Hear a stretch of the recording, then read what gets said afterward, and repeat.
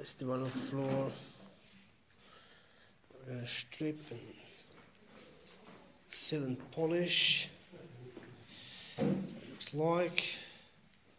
So it's going to look like when it's finished. Right.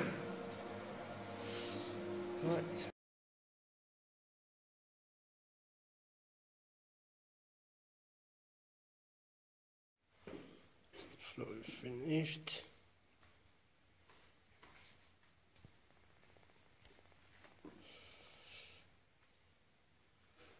Clean and ready to be sealed. It's final floor. Okay.